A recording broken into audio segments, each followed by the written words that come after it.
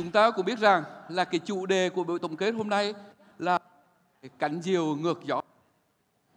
Đây là, nó mang một ý nghĩa rất là quan trọng. Chúng tôi đặt tên năm 2019 là năm của những thách thức mang tính sống còn. Một là phải giải quyết hài hòa cái cặp phạm trù doanh thu và lợi nhuận. Thứ hai là phải nâng cao hiệu quả sử dụng nguồn lực. Thứ ba, phải từ đổi mới để hoàn thiện và phát triển ngang tầm quốc tế. Như các anh chị biết chúng ta đang có một cái chương trình DPI trong đó có cái Y tức là quốc tế hóa. Chúng ta đang làm cái việc này. Và chúng ta phải nâng tầm năng lực cạnh tranh. Và cuối cùng, đây là vấn đề cốt lõi. Và chúng ta phải tạo nên cùng một giá trị từ nhiều bước đi thể hiện cái tính thống nhất và hợp tác cũng như đoàn kết của chúng ta. Chúng ta phải hành động, hành động khẩn trương, hành động quyết liệt, hành động với một cái tinh thần. Tinh thần gì? Cánh diều ngược gió. Và chúng ta cùng hướng đến một cái chung, mọi bước đi, một giá trị.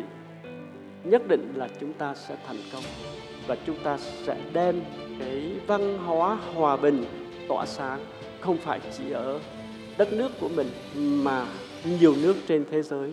Có một cái con đường, có cái đích đến đúng. Và chúng ta cứ quyết tâm làm. Chúng ta sẽ đi đến đích chúng ta, toàn bộ cán bộ công nhân viên hòa bình phải giống như là những chiến binh trong cái phim Adventures đó chúng ta, mỗi người chiến binh có một cái thế mạnh riêng, nhưng chúng ta cùng đoàn kết và chúng ta hỗ trợ lẫn nhau thì mới vượt qua năm 2019.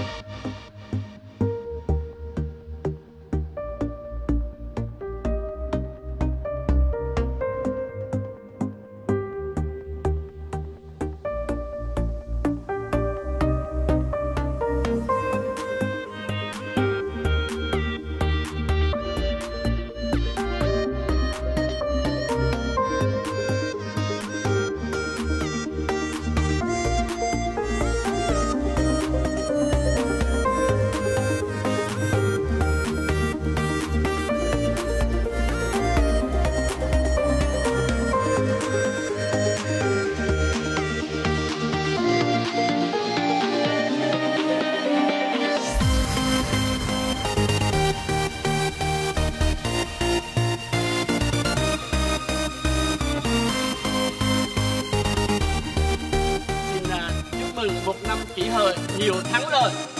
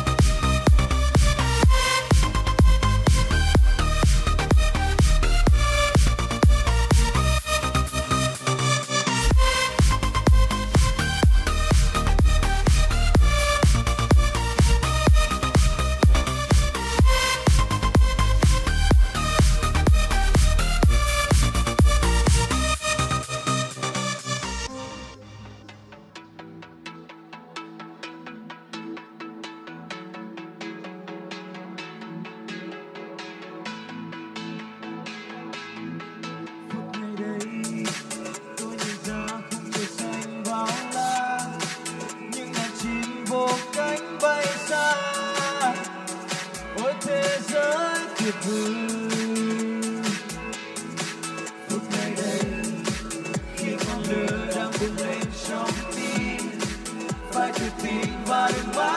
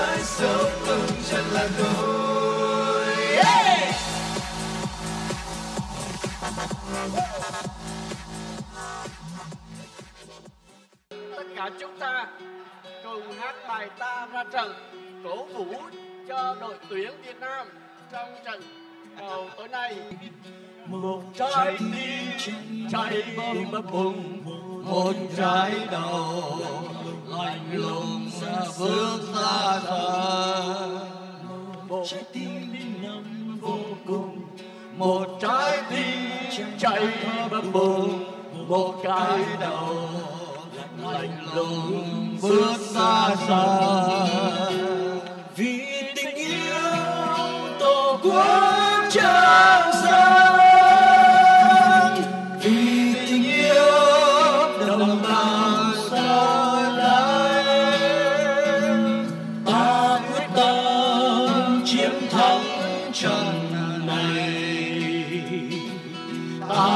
quyết làm lịch sử hôm nay. Xin chào cha tổ quốc niềm tin khi cuộc chiến đấu cam go xin chào cha dân tộc niềm tự hào.